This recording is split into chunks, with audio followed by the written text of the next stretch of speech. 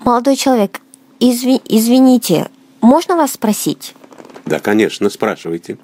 Вы не знаете, где здесь центральный банк? Центральный банк?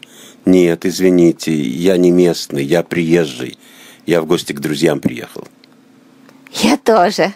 Спасибо вам большое. До свидания.